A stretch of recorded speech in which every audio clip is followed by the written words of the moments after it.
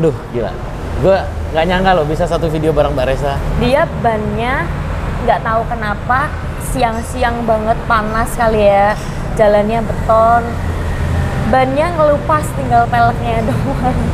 Uh, Brimob kayaknya yang datang Brimob udah pasang tameng semuanya segala macem lempar apa pada lari-larian semua ngeluarin gas air mata sampai itu aku sama teman-teman penyanyi ngumpet di bawah Panggung. stage-nya drum. Tiba-tiba dia naik dari belakang, aku dipegang, langsung dicium pipiku. Aku kaget dong. Siapa nih gitu kan?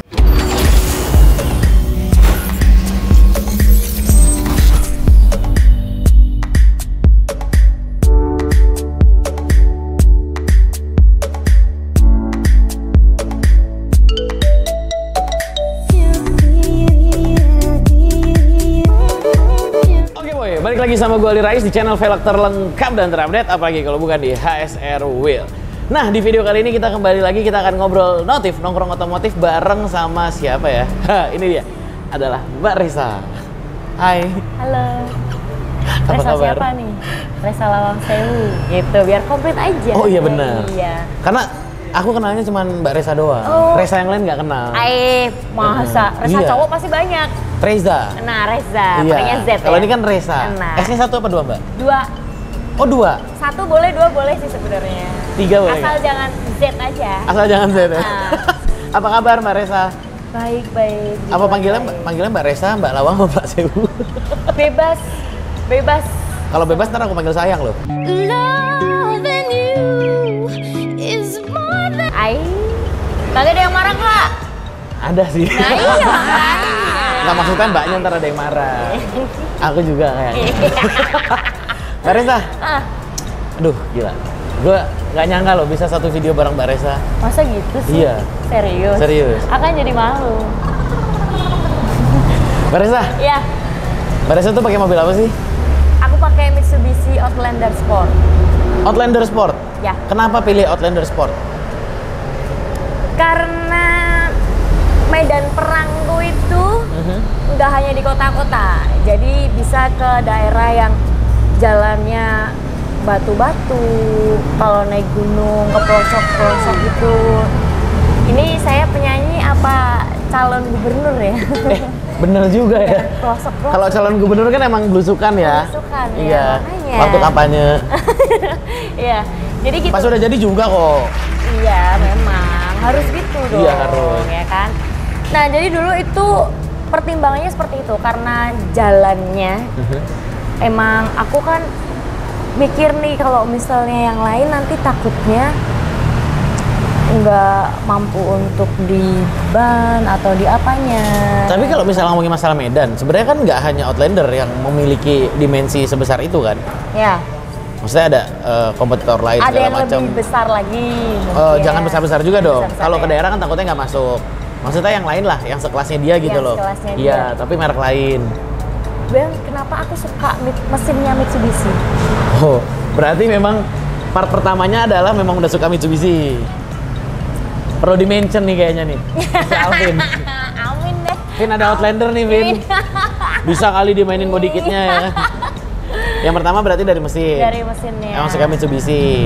Yang kedua nyari masih ada ya kelasan kayak gitu ya. Keren juga. Denger ya tadi Denger. ya, iklan sedikit ya. Yang kedua berarti lebih ke me- medan tempur. Nggak mungkin kan pilih yang Mirage karena terlalu kecil. Tuh. Apa Mitsubishi? Pajero Pajero ah, terlalu kenapa besar. Pajero? Oh, terlalu besar. Takutnya kalau di jalan yang agak sempit, Mhm. ini kan masih cukup nih Iya. untuk puter balik atau apa. Pajero tuh panjang banget, takutnya nggak muat, bingung nanti puter baliknya di mana. Bener. Masa diangkat satu kampung minta tolong. Bener sih. Terus setelah beli Outlander dan make ini kalau nggak salah mobilnya udah hampir enam tahun ya. Iya dari tahun 2000 2014 Dari 2014 berarti udah tujuh tahun. tahun ya. Gimana gimana pengalamannya make Outlander selama tujuh tahun gimana Mbak Reza? Eh, sorry sorry, ini nyetir sendiri apa disetirin? Keseringan nyetir sendiri. Wah, ini calon nih. Calon apa? Eh salah, bukan calon, idaman maksudnya. Idaman. Mandiri ya. Mandiri, bener, nyetir sendiri. Terus gimana pengalamannya? Mantep. karena dia kan memang sport ya. Aku kan orangnya juga seneng ugal-ugalan. Enggak ugal-ugalan, maksudnya seneng kenceng tapi tetap teratur. Enggak enggak ugal Takut diomelin. Iya takut soalnya di jalan raya kan, gak di Iya. sirkuit. Kalau di sirkuitnya bebas. Enggak juga ada Oh, aturannya oh, juga ada. tetap. Ada. Di sirkuit juga ada Nah, aku belum pernah soalnya di sirkuit. Oke. Kapan-kapan ya, Boleh. diajak ngepot-ngepot. Boleh. Sambil nyanyi. Nah, itu Heeh. untuk tarikan, tarikannya. Mm-mm. Tarikannya Enteng. enak, enteng. Enteng, iya. Terus setirnya juga. Aku itu sering setir satu, satu tangan. satu tangan. Aduh. Pernah bahaya. pegang yang setirnya agak berat, harus pakai dua, Hmm. gitu tuh berat, berat aja gitu loh. Kalau Untuk seorang tangan- wanita berat lah ya. Ah, berat aja. Ah. Kalau satu tangan kan enak ya. Berarti setirnya cukup ringan. Ah. Posisi posisi mengemudinya gimana Mbak Reza? Pas, enak. Pas. Hmm. Kebetulan kan joknya udah aku cover tuh. Mm-mm. udah aku ganti kan tapi yang aslinya juga enak. Aslinya enak. Cuman aku ganti ya faktor bosen. Pengen divariasi. Oke, nah sekarang pertanyaan selanjutnya, apa sih arti mobil bagi seorang wanita seperti Mbak Reza? kalau saya karena profesi ya. Mhm. profesi mobil mobilitasku tuh tinggi. Mhm. jadi aku butuh mobil ke mana-mana dalam jarak jauh contoh luar kota misal dari Semarang ke Rembang. Bisa sih naik motor, tapi untuk hemat waktu aja naik mobil kan biar lebih cepat. Kecuali kalau macet. Iya. Iya, kecuali kalau macet. Bisa lah alternatif jalan ada cari lewat kampung-kampung gitu. Berarti mobil itu bagi Mbak Reza cukup penting juga ya? Cukup penting. Membantu banget. Sebagai kaki berarti ya? Ya, tuh. Untuk nganterin Mbak Reza ke mana-mana? Rumah juga sebenarnya. Rumah juga? Kenapa? Baju, sepatu, segala macam ada Ada, situ? ada semua komplit. Ah, belum kita buka, nanti kita intip dikit ya. Jangan. Boleh nggak intip dikit nanti? Boleh, tapi dimaklumin ya. Soalnya ada rumor bilang kalau cewek pakai mobil itu mobilnya pasti berantakan. Jorok. Barang- jorok. Barangnya di mana-mana, tisu di mana-mana. Nggak tahu tuh tisu buat apa gue juga kan.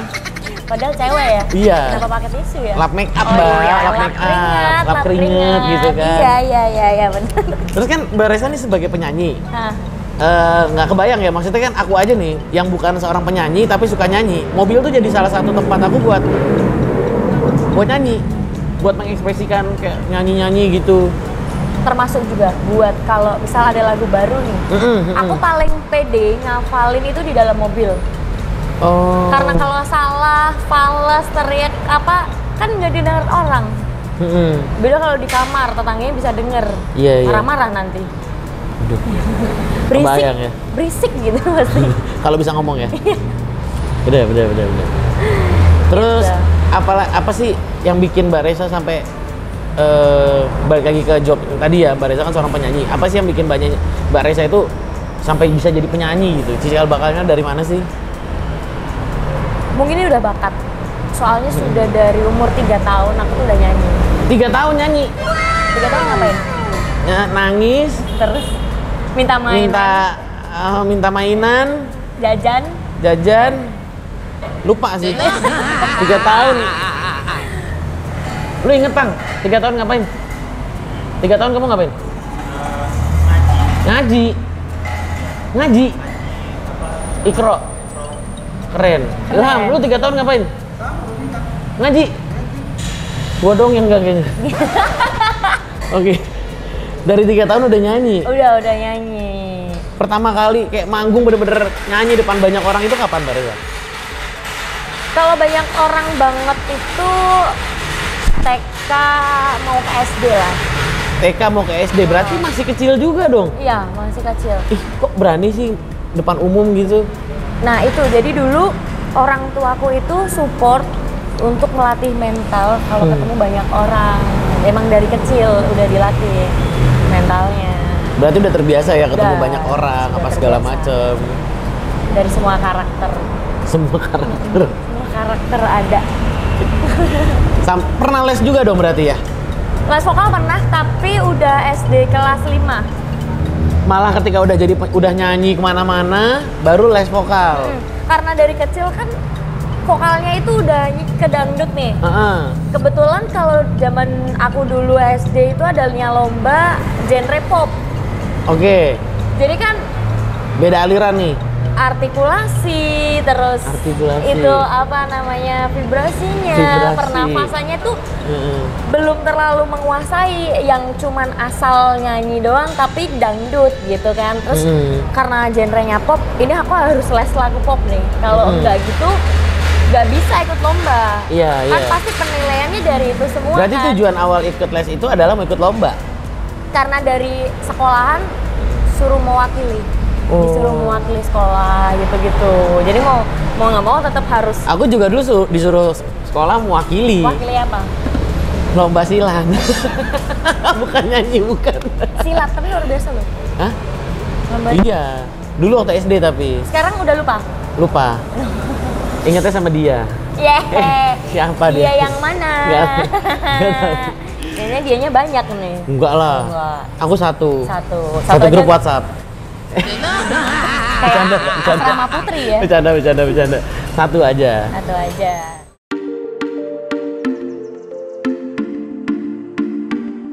Berarti kan dari kecil udah nyanyi, terus sampai sampai eh, les vokal segala macam. Ada nggak pengalaman kamu yang paling tidak mengenakan ketika lagi lagi lagi job gitu? Banyak. Tidak mengenakan sama yang paling memalukan, sama paling menyenangkan tiga. Perjalan dari mulai perjalanan nyanyi aja cobaannya tuh udah berat sebenarnya. Di jalan pertama. Kalau lagi kejar-kejaran waktu mau nggak mau kan pasti nyetirnya juga kenceng. Ah, ah, inner rush gitu ya. Harus bener-bener fokus Iya. karena waktu siang kan banyak banget kendaraan di luar beda kalau malam Hmm. malam aja masih banyak kadang ada motor yang nggak ada lampunya bikin kaget kita harus fokus pernah dulu aku belum punya mobil waktu itu jadi masih Hmm. pinjem mobilnya tetangga. Ih, baiknya tetangganya. kebetulan mobilnya waktu itu kayak model cherry gitu loh. Oh, iya ya, tahu tahu. cherry gitu. Dia bannya nggak tahu kenapa siang-siang banget panas kali ya. Jalannya beton. Bannya ngelupas tinggal peleknya doang. Terus ya udah mau nggak mau kan aku ini kalau ganti pasti lama Iya. ganti lama akhirnya aku sewa angkot Sewa angkot. seadanya di situ Nyari. Oke. sewa angkot Masih inget nggak tuh angkotnya angkot apa? angkot aduh lupa Nyari. angkotnya di daerah Oke. Demak sana sih di Demak Di Demak. Heeh, itu Heeh. padahal aku performnya di Pati Demak Pati tuh dua jam ya? Eh sejam? sejam setengah Sejam setengah. itu kalau kencang kalau pelan-pelan ya Ya, bisa dua nyampe jam. dua jam Oke. itu jadi Akhirnya mobil ditinggalin tinggalin aku sewa angkot Heeh. sampai sana udah mau selesai acaranya. udah mau selesai Nyanyi nggak? nyanyi sempet nyanyi Heeh. karena kan ditungguin Heeh. ditungguin dia dia ditelepon ini lagi perjalanan akhirnya Heeh. sewa angkot mau dijemput juga kejauhan nanti Iya. bolak-balik kan Iya. kelamaan malahan akhirnya sewa angkot sampai sana ya dan terus pulangnya baru dianterin dari sana Pati Itu di perjalanan yang tidak mengenakan ya. kalau waktu posisi di panggung nggak mengenakan oh ya ini pernah Heeh. di salah satu daerah itu kan kalau habis lebaran nggak dapat izin untuk hiburan Heeh. jadi dapatnya izin tuh H plus 7 Heeh. kebetulan dari panitianya ngeyel pokoknya harus udah kita yang tanggung jawab deh tanpa izin Heeh. dari pihak kepolisian Heeh. ada penonton mungkin yang laporan Heeh. kok ini dibolehin tempat Heeh, kita nggak dibolehin protes Heeh. Itu lagi nyanyi tuh di atas. lagi nyanyi kebetulan Oke. aku yang bagian nyanyi waktu itu Heeh. tiba-tiba datang tiga truk tiga truk Tiga truk polisi. tiga truk polisi dua mobil halus Heeh. yang bagian mungkin atasan-atasan udah pertama datang satu dulu nih aku pik- pikirnya loh kan nggak izin kenapa ada polisi kirain ngepam ya kirain aku Oh, kirain ngejagain. Kirain ngejagain. Nggak taunya ngusir. kok ngomongnya sama panitianya doang Heeh. wah berantem berantem nih aku gitu kan Mm-mm. ricuh nih aku baru nyanyi nih baru selesai Lagu apa itu yang nyanyi? Ingat nggak? lagunya Bunda Rita Sugiarto Oke. Mm, semakin sayang semakin kejam kebetulan banget mas Heeh. ya. Jadi kejam ya. kejam udah ini untuk lagunya udah mau selesai nih Mm. udah selesai aku udah terus tiba-tiba lempar-lemparan batu dari uh, Brimob kayaknya yang datang Brimob Mm-mm. udah pasang tameng semuanya segala macem lempar lempar pada lari-larian semua keluarin gas air mata sampai itu aku sama teman-teman penyanyi ngumpet di bawah Panggung. stage-nya drum Heeh. Oh di bawah stage-nya drum. Heeh, Nah, bawah di belakang stage-nya berarti. drum. Ngumpet. Padahal gas air matanya tuh ada yang ngarah ke panggung. Mm-mm. Kena semua kan. Di situ jadi aduh gimana ya gimana. Akhirnya dipanggil tuh dari bawah. Turun aja, turun aja. Loncat dari panggung ukuran 2 meter. Loncat, bener-bener loncat. Udah nggak mikir tuh ya? Udah nggak mikir karena tangganya kan di depan. Iya. Nah di depan lagi keadaan kayak gitu, loncat dari belakang, udah loncat semua kita masuk ke rumah warga. Cuci muka segala macem, Sikat gigi enggak? enggak. Kan sekalian cuci muka Mandi dong sekalian, enggak, enggak. Itu paling tidak mengenakan. Itu paling tidak masih inget sampai sekarang. Kalau paling memalukan. Paling memalukan dicium di atas panggung. Hah? Serius? Serius, serius, Dicium. dicium Wah. tanpa izin. Emang kalau di sini dikasih? Kalau kenal sih nggak apa sih. Kalau kenal, kalau maksudnya cipika-cipiki aja, Oh. bukan yang cium itu. Jadi Bukan cium bibir, bukan? bukan. Jadi waktu itu Enggak, enggak, enggak, enggak. Dia datang bukan buat kusir, Oh, Mbak. iya. Tenang, tenang, tenang. Tenang, tenang, tenang. aku, aku takut soalnya. Takutnya trauma ya? trauma. Oke. Itu kan Dia naik atas panggung nih ceritanya. naik. Aku jadi sedang aku tuh duduk, lagi duduk yang nyanyi kan Yang lain. yang lain nyanyi. Aku duduk sambil main handphone. Mm-mm. Kondisinya aku tuh lagi sakit, lagi meriang gitu. Tiba-tiba dia naik dari belakang, aku dipegang, langsung dicium pipiku. Aku kaget dong. Mm-mm. Siapa nih gitu kan? Waktu itu aku masih SMP, jadi aku kaget. Masih SMP. Masih lucu-lucunya ya? Lucunya Heeh. belum tahu rasanya Heeh. dicium. Oh. terus, terus. Kebetulan kenanya tulang. Sakit. Sakit. Oh. Sakit dong ya kan. Itu yang nyium bapak-bapak, ibu-ibu? anak muda. Oh. Menurutku dia taruhan sama temennya. Oh, alamak. Iya, iya, iya, gitu. Dia habis cium langsung turun loncat lari. Kayaknya dia taruhan sama temennya. Ya Kamu bisa nggak cium dia? Kalau Hmm. bisa kasih duit. Mm-mm, 2000. Nggak tahu. Coba. Siapa tuh waktu itu yang nyium Mbak Reza tuh? Heeh, Ngaku deh mendingan. Aku mendingan ya. Heeh. Nanti netizen ngaku semua. Terus hal yang paling tidak bisa dilupakan yang dalam hal yang positif, yang menyenangkan, yang kayak thanks God gue jadi penyanyi gitu, yang sampai lu bisa bikin kayak gitu apa? bisa menghibur banyak orang Berarti every time lu perform tuh lu happy, seneng. happy bisa menghibur orang yang benar-benar membutuhkan hiburan seperti ya teman-teman adik-adik disabilitas ya kita bisa dihibur gitu Iya, iya, kan iya, iya. dengan satu kelebihan yang dikasih sama Tuhan tuh kayak aku bisa menghibur mereka nih aku nyanyi mereka seneng ikut nyanyi bisa ikut joget Seru ya. Heeh. seneng Kebayang sih, kebayang sih. rasanya tuh kayak bersyukurnya tuh Double-double tuh kayaknya tuh. double Nggak, banget nggak, nggak bisa ini ya. nggak bisa diungkapin loh Oke, Mbak Reza, pertanyaan terakhir. Ini tadi titipan si Ilham nih, Ilham mau nanya ceritanya. Apa? Tadi Ilham apa Bintang sih yang mau nanya? Bintang. Bintang kan? Iya, Bintang mau nanya. apa sih Kenapa namanya Lawang Sewu? dari Semarang ikonnya Semarang Dari dulu memang begitu. ya dari awal jadi sebenarnya gimana ya kasih nama yang pakai ikonnya Semarang kan banyak tuh ada Tugu Muda ada Lawang Sewu ada Gereja Belenduk Kota Lama Kenapa nggak Tugu Muda? Kan Tugu Muda kan lucu. Reza Tugu Muda gitu. Jadi walaupun ntar udah tua tetap muda. oh gitu ya jangan dong nanti susah Kenapa? ininya.